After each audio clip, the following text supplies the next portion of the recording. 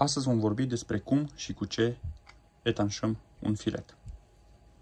Fie că este vorba despre apă, aer sau gaz, la un moment dat va fi nevoie să etanșăm un filet și în video de astăzi vom vedea cum putem să facem asta, cu mențiunea că acest video nu se adresează profesioniștilor, ci mai degrabă amatorilor. Am făcut aici o mică schemă din mai multe fittinguri, care nu sunt etanșate, sunt doar îmbinate și vom folosi mai multe metode de îmbinare. Pentru a îmbina două filete avem nevoie de câlți, teflon, sistemul de etanșare în sine, dar și de scule. Iar când vine vorba de scule, putem să folosim chei fixe sau reglabile, pe care le putem regla în funcție de dimensiunea fittingului, sau cele mai folosite de către instalatori, chei tip papagal. Bineînțeles, există unele și mai mari pentru filete de dimensiuni mari. Folosim pentru etanșare bandă de teflon, celebrul câlți și pastă verde de etanșare, un șnur cu teflon,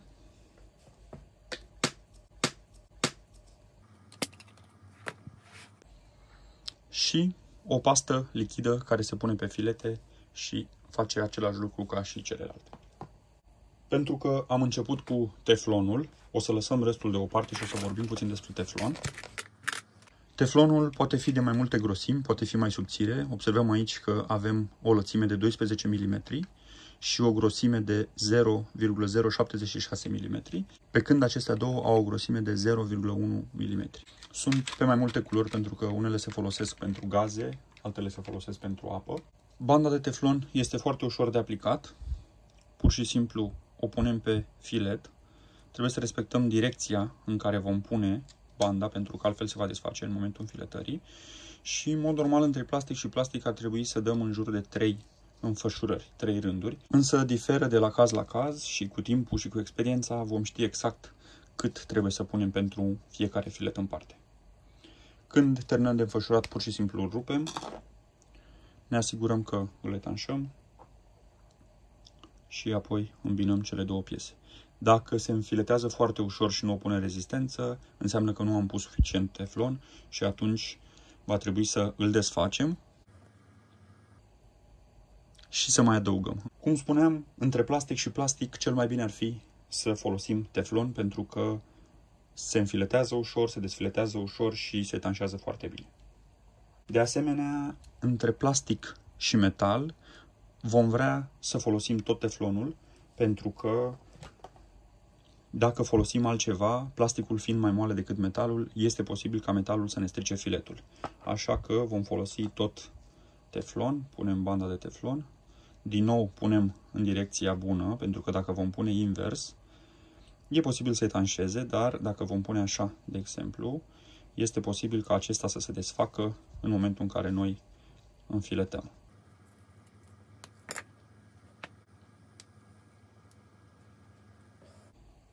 Aici vom avea nevoie de două chei ca să strângem, însă aceasta este doar o probă și le-am înfiletat numai cu mâna.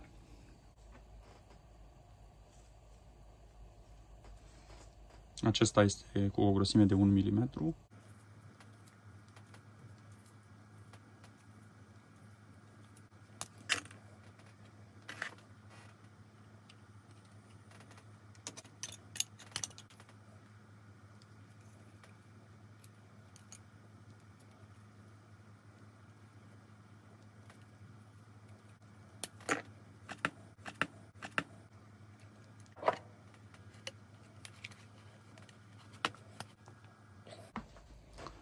Câlții se găsesc sub formă de fuior, așa, sau putem să-i găsim și sub această formă, la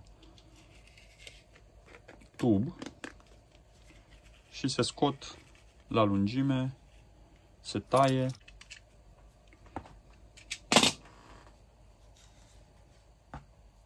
se finisează pentru ca acestea să fie foarte lini și se aplică pe filet. Trebuie să știm că ne trebuie o anumită cantitate de câlți să punem pe un anume tip de filet în funcție de dimensiune, Iar asta, din nou, vom ști odată cu timpul și cu experiența, deși trebuie să menționez că nu prea se mai folosesc câlții atât de frecvent, cel mai frecvent se folosește acest șnur cu teflon. Din fuior o să scoatem niște câlți. Îi vom netezi până ne vom da seama că sunt pregătiți pentru înfiletare, înfășurare. Iar pentru o mai bună aderență, pe filet ar trebui să aplicăm un procedeu numit randalinare. Avem aici o cheie specială care face așa ceva. Ce face această cheie? Practic, creează niște striații pe filet, cum avem aici, deja direct făcut din fabrică. După ce ne-am pregătit câlții, o metodă de aplicare poate fi următoarea. Dacă ținem robinetul în mâna dreaptă, câlții trebuie să-i dăm către noi. Dacă îl ținem în mâna stângă, câlții trebuie să-i dăm în direcția cealaltă. Vom da o parte din câlți, îi vom da către noi, pentru că aceștia vor fi prinși sub câlții cu care vom continua să rulăm în direcția bună, către în față. Și acum, fără să răsucim, îl ținem tot timpul drept, rulăm către în față și punem uniform pe filet.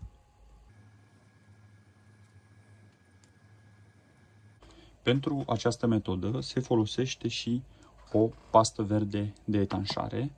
După ce am înfiletat câlțul pe filet, luăm niște pastă și ungem de jur împrejur câlțul aplicat, nu cu o cantitate foarte mare, însă îl ungem pentru ca acesta să alunece și să etanșeze mai bine. După ce l-am aplicat și l-am uns, putem să începem să-l înfiletăm.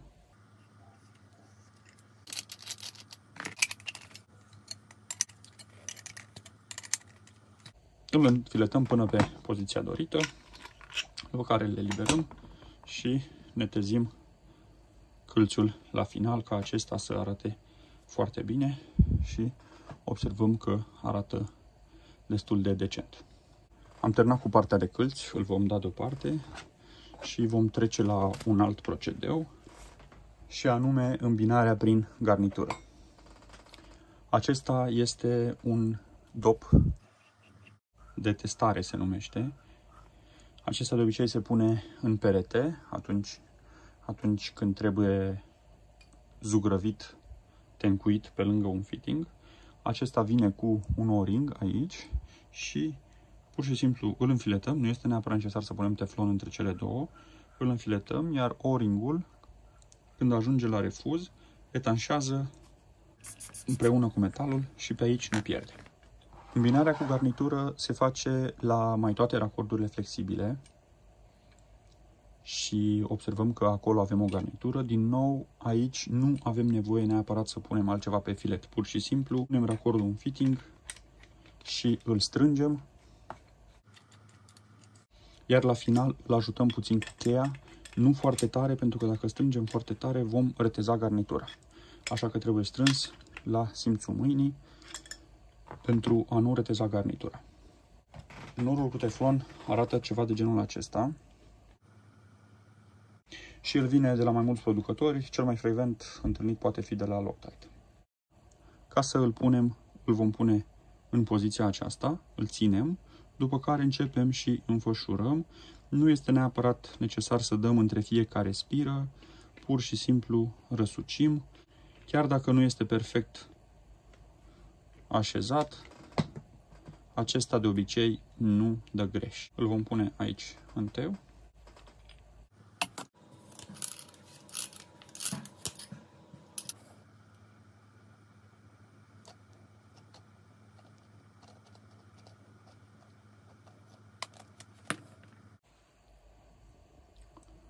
Putem observa cât de mult șnur cu teflon am pus.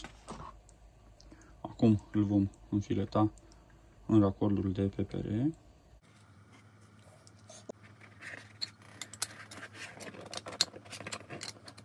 Și în principiu avem toate tipurile de filete etanșate, dar am păstrat acum la sfârșit partea de aer, partea pe unde vom băga aerul, am păstrat-o ispre pentru că vom folosi această pastă, adeziv etanșare filete.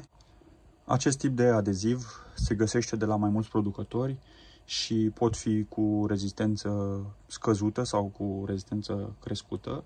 Acesta este cu rezistență medie și se aplică între spirele 1 și 3 ale filetului, cu mențiunea că filetul trebuie să fie uscat și curățat.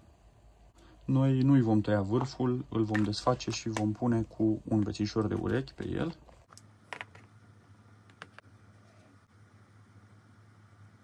După care îl înfiletăm.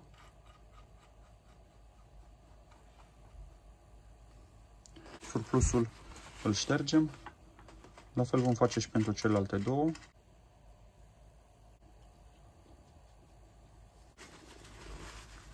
Ștergem surplus dacă există.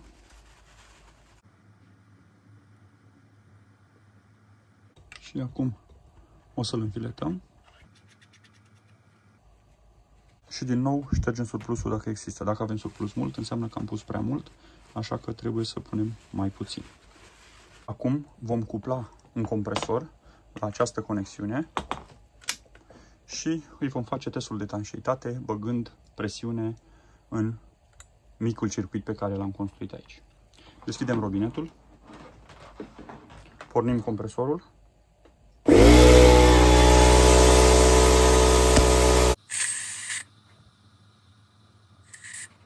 și îl vom lăsa la 5 bari să vedem dacă pierde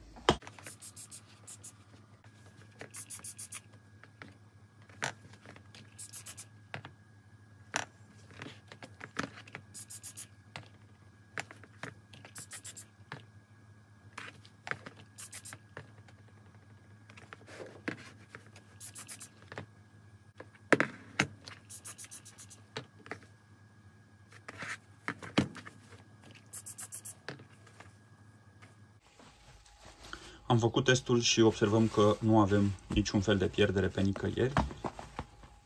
Instalația rezistă la 5 bar cu cât am încărcat-o noi și am și testat-o, nu avem niciun fel de pierdere. Niciuna din metode nu a dat greș și instalația rezistă. Cam acestea au fost informațiile pe care am vrut să le prezentăm despre acest subiect. Sperăm că interesante. Până data viitoare, numai bine și pe curând!